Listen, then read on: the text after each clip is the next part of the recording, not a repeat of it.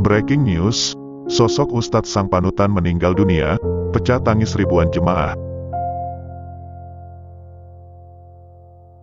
Inailahi wa inalillahi rojiun, Allahumma firlahu, warhamhu, wa afihi, wa fuanhu.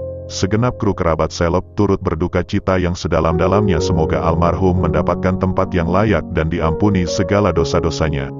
Seyogyanya, sebelum masuk ke dalam video, Mari luangkan waktu kita sejenak untuk sama-sama berdoa. Semoga mendiang dipermudah jalannya serta keluarga yang ditinggalkan dilapangkan sabarnya.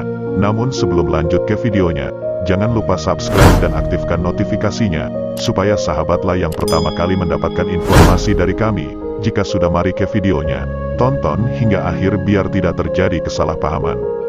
Dikutip kerabat seleb dari artikel liputan6.com, Jakarta, kematian merupakan takdir Tuhan, Tak ada yang dapat menebak maupun memprediksi kapan kematian datang menghampiri. Kali ini, kabar duka menghampiri jagat hiburan nasional. Sejumlah artis ataupun sosok ustadz yang kerap warawiri di televisi maupun layar lebar, berpulang untuk selamanya. Yang dramatis, artis juga ustadz ini yang sebelumnya tak memiliki riwayat penyakit, justru berpulang secara mendadak. Hanya saja, kematian sejumlah selebritis juga sosok panutan tersebut begitu dramatis. Ada yang mengalami sakit bertahun-tahun namun masih memiliki harapan untuk sembuh. Yang sudah diketahui sosok Ustadz ini beliau pendiri Yayasan Azikro. Sang Ustadz tersebut dikebumikan di Kompleks Pondok Pesantren Azikro, Desa Cibadung, Kecamatan Gunung Sindur, Kabupaten Bogor.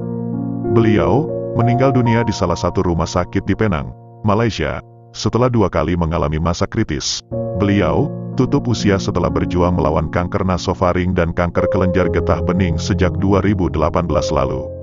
Ustadz tersebut tak lain ialah Ustadz Kondang yakni Ustadz Arifin Ilham. Beliau, dinyatakan meninggal dunia pada tanggal 23 Mei tahun 2019 lalu. Sementara, selama prosesi pemakaman sang istri terlihat selalu dekat dengan sang anak di antaranya, Muhammad Amer Azikra, Muhammad Alvin Faiz, dan Muhammad Aska Najhan untuk saling menguatkan. Mereka, tampak saling menggenggam tangan satu sama lain saat jenazah almarhum dimasukkan ke dalam liang lahat. Tidak hanya itu, ketegaran terlihat pihak keluarga saat melepas kepergian almarhum. Juga tampak selesai jenazah selesai diazankan oleh sang anak, juga terlihat keluarga, hingga para pelayat seperti teman, kerabat, artis, dan ribuan jemaah yang hadir pun ikut larut dalam kesedihan dan berlinangan air mata.